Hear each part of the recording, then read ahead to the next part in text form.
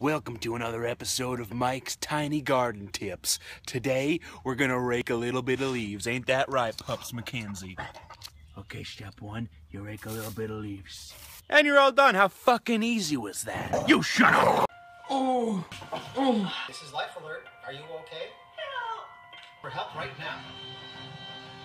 Old lady fell down! Old lady fell down! Everybody get your shit together! Let's go, let's go, let's go! Go, go, go! She's dying! She's when I was growing up, my grandpappy taught me three things about life.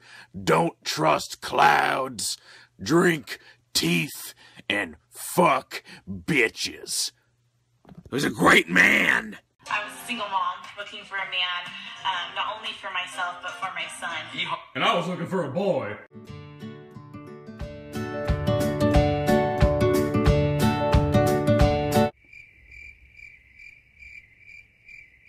I watch you whacked out sports and look at this stupid motherfucker. Bubba, what a stupid idiot. I hope he dies. I hope his kids die. Crush him, crush him, crush, completely whacked. What a fucking idiot. Breaking news. Goku announced guilty on all charges.